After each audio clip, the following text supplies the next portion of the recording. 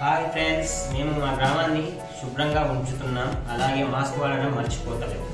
Mask వాడదాం ఆరోగ్యాన్ని కాపాడుకుందాం. జై హింద్ జై భారత్. ఎప్పుడు మాకు ఇట్లా కట్టాయి కొద్దిగా మానవాన్ని ఉండాలి కొద్దిగా వేస్తాను అదే ఎప్పుడు ఇటే వారెత్తురే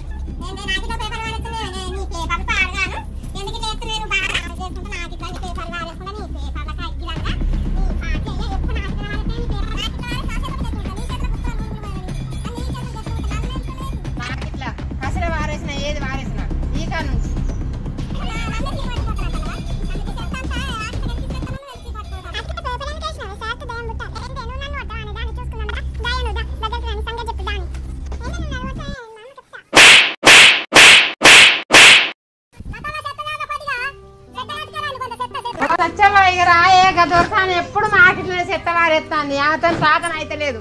నాకు ఏం లొల్లి ఎప్పుడు ఇవారు దాకా లొల్లే నాకు. మంచిగా మీ ఇంటికి చెత్త కత్త చెత్త ఎత్తావు కానీ ఆమెకు నీకు లొల్లేందుకు అయితే ఏం ఆమె ఎప్పుడు గట్లనే ఎత్తే పొల్ల నన్ను? నేను నేను ఏం ఎవరికి చేయాలి? కొంచెం ఆ దొరసానికి చెప్పు. పోయి ఆ దొరసానికి చెప్పు. కొంచెం ఆ కవర్లు అవి వాళ్ళ ఆకిట్లా వారేయకు. వచ్చావా నేను ఈ డబ్బా రోజు నీకు ఎత్తలేనా? ఆ కవర్లన్నీ మాకిట్ల కత్తున్నా తిడుతురు సాపిస్తురు అనేకటు? నువ్వు అది రోజు చూస్తున్నావు కదా ఇవే? చూస్తున్నావు? రోజు తిడుతుంది పొద్దున్న లేసి మ్, రోజు తిడుతుంది. మరి ఏం రోగం పుట్టిందో ఏమో. ఎవరైనా ఉన్నారా అమ్మా ఇంట్లో? ఏం లేదమ్మా ఇటు చెత్త బండి వస్తుందా రోజు? ఆ మేడం రోజు బండి వస్తుంది. ఇద్దరు మనుషులు వస్తుండ్రు సెట్ ఎత్తాను సరే అమ్మా మీరు ఆ ట్రాక్టర్ వచ్చినప్పుడు మంచిగా చెత్త వేయండి. మన గ్రామం మంచిగా పరిశుభ్రంగా ఉంటుంది. తడి చెత్త పొడి చెత్త వేరే వేరే. రెండు డస్ట్బిన్స్ ఇచ్చినాం కదా. అవి ఇట్లా వేరు వేరు వేసేయరు వేసేటప్పుడు. ఇట్లా అంత పదను ఉంది. ఇదంతా తీసేయరు అంత దోమలు అంత చెత్త చెత్త ఆకులు ఇవన్నీ వాడి మురిగిపోయి దోమలు తయారవుతాయి ఏమైందమ్మా ఇట్లా అని నేనా మేడం? మేడం నేనా? ఏమైందమ్మా? చెత్త తీస్తలేరా రోజు ఎందుకు అవుతుంది ఇలా? ఎందుకమ్మా ఊకే గొడవ పడతారు? చెత్త ఆడిట్ వేయకుండా మీకు ఇచ్చిన రెండు చెత్త బుట్టలలో వేయచ్చు కదా. గ్రామ పంచాయతీ మీకు రెండు చెత్త బుట్టలు ఇచ్చిందా లేదా? రెండు చెత్త బుట్టలు ఇచ్చింది కదా ఒకటి తడి చెత్తకు ఒకటి పొడి చెత్తకు. తడి చెత్త తడి చెత్త వేయాలి పొడి చెత్త పొడి చెత్త వేయాలి. వచ్చి ట్రాక్టర్ వచ్చినప్పుడు ఇగో వీళ్ళకి వేరు వేరు ఇస్తే ఒకళ్ళకి తడి చెత్త ఒకళ్ళకి పొడి చెత్త ఇస్తే తడి చెత్త తీసుకుపోయి కంపోస్ట్ షెడ్లో ఎరువు తయారు చేస్తున్నాం. ఇట్లా వేస్ట్ చేయకూరి ఉత్త గొడవలు పడకూరి.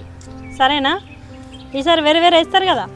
గొడవ పడుకోనమ్మా ఆడిడ్ అయ్యకూరి చెత్త చెత్త డబ్బాలలో అయ్యూరి మీకు ఇచ్చిన చెత్త డబ్బాలు ఏవమ్మా ఇట్లా ఆడుకోగా పేపర్ లాకిట్లా పడితే చెత్త పడుతుందని ఆమె తిడుతుంది కానీ మాకు అంత గొడవలు అవన్నీ ఏం లేవు. మేము అదే మరదండం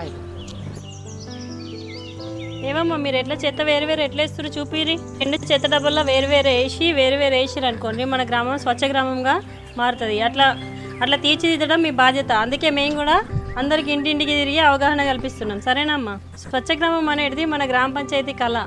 దీన్ని మనం అందరం బాధ్యత కొద్దీ నెరవేర్చాలి. సరేనా? ఇది పొడి చెత్త అమ్మా ఇటు సైడ్ ఇది రాసి ఉంది. ఇది పొడి చెత్త. ఇలా పొడి చెత్త సరే మేడం ఎప్పుడు ఇట్టనే ఎత్తాం మేడం. ఇలా వేసేది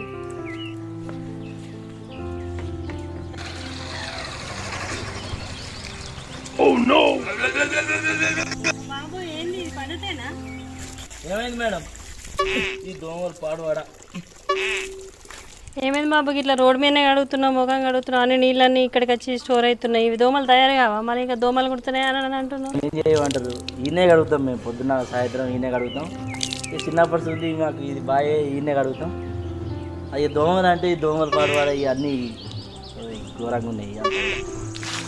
ఏంది బాబు? చెప్పే చెప్పగానే ఓకే మళ్ళీ అడుగుతూనే ఉన్నాం మళ్ళీ రోగాలు ఎప్పుడు ఎప్పుడు అలవాటు అయ్యారని అంటే ఒకప్పుడున్న రోగాలు ఇప్పుడు ఉన్నాయా ఇప్పుడు కొత్త రోగాలు వచ్చినాయి కదా మీరు ఇట్లా చేస్తారు కాబట్టి అట్లా వస్తున్నాయి పరిసరాలను పరిశుభ్రంగా ఉంచుకోరు.